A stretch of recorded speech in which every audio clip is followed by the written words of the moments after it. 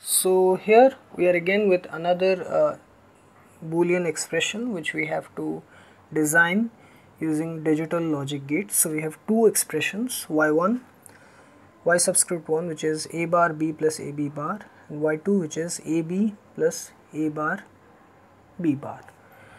Okay so again first we have to determine what logic gates are required the NOT operation or inversion operation clearly indicates we will require a NOT gate. The AND operation AB, A bar B, AB bar, AB, A bar, B bar, it represents we will require AND gate and the plus sign it represents OR operation so we will require a OR gate as well.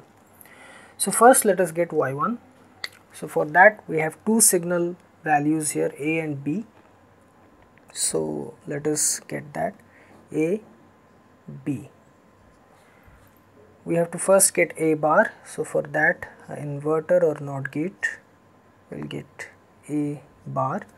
Then we have to perform a AND operation here to get a bar b then we have to get b bar. So for that we have to pass it through an inverter for which we'll get b bar and then we have to AND it with A. Okay so we have to take this signal from here. And again we have to give it to a two input AND gate.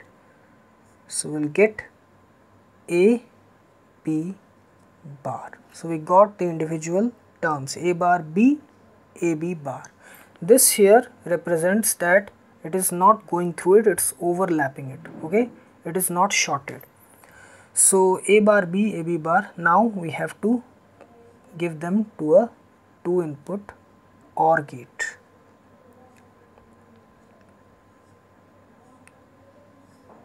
Which will be the final output a bar b or a b bar. This is y subscript 1 we got the first. Okay?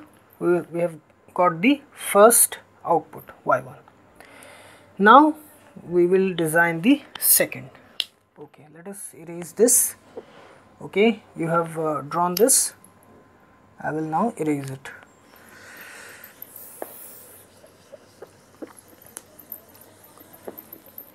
The second so we have to first get the individual terms. So again a b. First directly a and b and we get ab then we have to pass them through inverters or NOT gates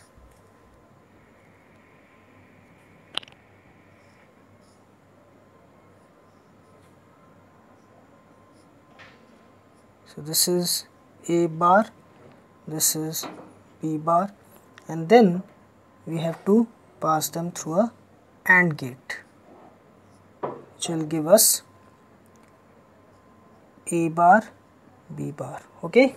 Ab this is directly passed through a AND gate ab then a is passed through a NOT gate or inverter to get a bar b is passed through a NOT gate or inverter to get b bar then these two signals are ANDed together to get a bar and B bar. Now we have to add them or we have to pass them through a OR gate. Okay, these two signals. So we got the final output AB plus A bar B bar. Okay, so we have got the two signals Y1 and Y2. Now, if you look closely at these two expressions, you can, if you remember, this is the XOR gate output.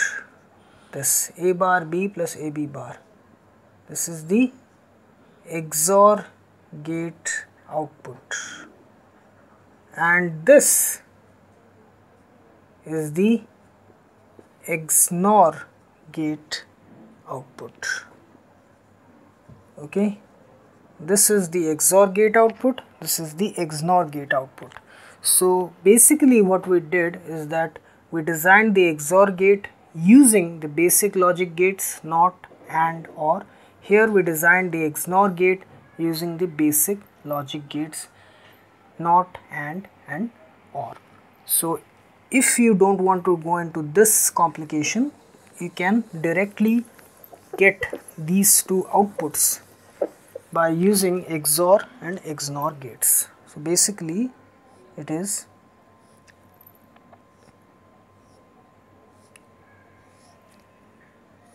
okay A B it will give us y1 equals to a bar b plus a b bar which is the XOR gate or to get the second output A, B,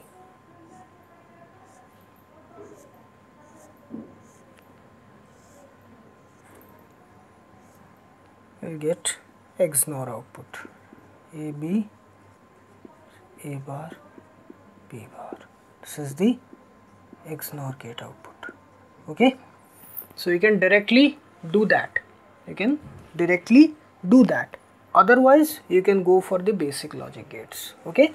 So basically I wanted to make you understand I deliberately chose these two uh, boolean expressions of XOR and XNOR. So you can directly go for this or you can design them using the individual basic logic gates not not and or. Okay? So these are uh, some of the uh, boolean expressions these are simple ones. Now we'll go for complicated uh, expressions okay where it would uh, consist of three or more terms and uh, more signal values will be involved okay